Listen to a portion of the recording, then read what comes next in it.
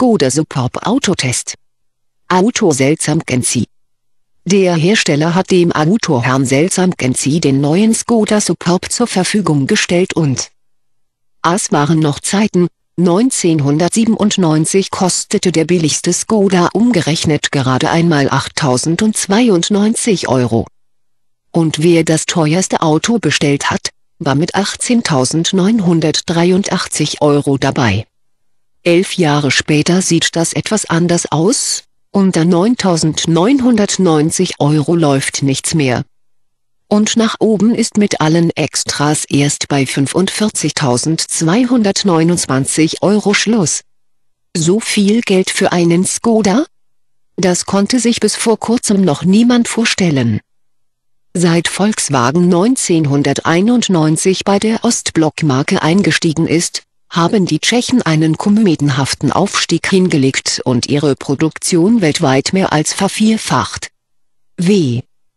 Ehrenlader, der Konkurrent von einst, noch immer an der Resterampe parkt, wird Skoda dieses Jahr allein in Deutschland knapp 120.000 Autos verkaufen und die Bilanz hinter Renault als zweitstärkster Importeur abschließen. Kein Auto zeigt den Aufstieg der Marke so deutlich wie der Superb, der im Sommer in die zweite Generation gewechselt hat und nun auch mit V6-Motor und Allradantrieb angeboten wird. Schon in der einfachsten Ausstattung kostet das Topmodell 34.790 Euro, und in der Elegance-Variante mit allen Extras kommen eben 45.229 Euro zusammen, allerdings sind dann neben sieben Airbags und allerlei anderen elektrischen Helfern auch ein Fernsehempf. Enger, das große Navigationssystem, Lederpolster und ein Schiebedach an Bord. Damit erreicht der S. ÜPAP 3.6 V6 4x4 als teuerster Skoda aller Zeiten das Preisniveau der etablierten Konkurrenz vom Schlage eines BMW 5er, mit vergleichbarem Motor ab 48.500 Euro.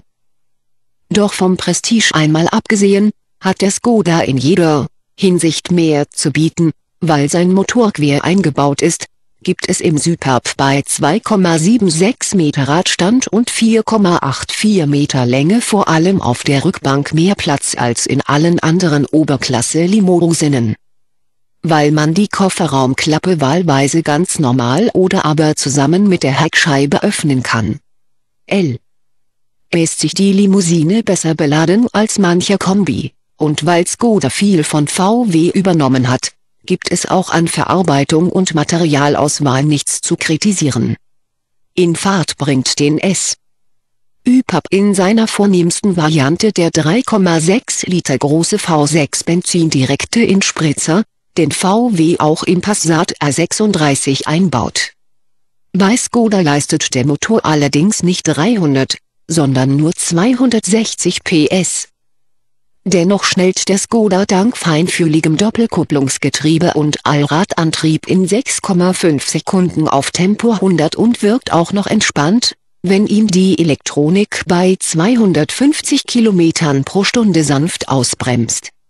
Bei vielen AOSL Endischen Herstellern gelten derart ausstaffierte Flaggschiffe allenfalls als beliebte Dienstwagen für die eigene Geschäftsführung. Doch bei Skoda sei das anders, sagt Deutschlandchef Alfred Rieck, diese Variante kommt auf einen Bestellanteil von knapp 10%. Und das, was die Kunden im Vergleich zu den K gehen sie offensichtlich in die Ausstattung. Immer wieder seien sie bei Skoda überrascht vom hohen Bestelleingang für Extras, berichtet Rieck und nennt als Beispiel den halbautomatischen Parkassistenten im Superb. Obwohl die Lenkhilfe, die das Auto von selbst in die Lücke rangiert, noch einmal 390 Euro kostet, kommt sie auf eine Ausstattungsquote von 70 Prozent. Zwar geht auch das raue Klima am Automarkt an Skoda nicht spurlos vorbei. Die Zulassungen im November sind gegen über dem Vergleichsmonat des vergangenen Jahres um fast 25 Prozent auf rund 8000 Verkäufe gesunken. Aber im Jahresschnitt liege Skoda auf dem Kurs von 2007, sagt Rieck, der bis zum 31. Dezember sogar noch ein wenig zulegen will, um die 120 Euro-Marke zu erreichen. Dann wäre Skodas Marktanteil in i-Deutschland um ein weiteres Zehntel auf 3,8% gestiegen. F. Über den ersten Platz in der Importeurswertung reicht das noch L nicht, Renault liegt bei 4,8%. Doch Rick sagt, ihm sei, ein gesunder zweiter Platz lieber als eine E-Spitzenposition mit Kopfschmerzen durch Tageszulassungen und Rabattschlachten. Spätestens mithilfe des neuen kleinen Geländewagens Yeti im nächsten Jahr will Skoda in Deutschland aber die 4%-Hürde nehmen.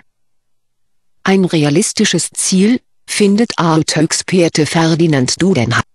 Öffer während er für VW einen Rückgang von 6% erwartet und die spanische Konzerntochter 2009 gar mit 10% im Minus sieht, sagt der Automobilwirtschaftler der Universität Duisburg-Essen Skoda 2009 ein Wachstum von gut einem Prozent voraus.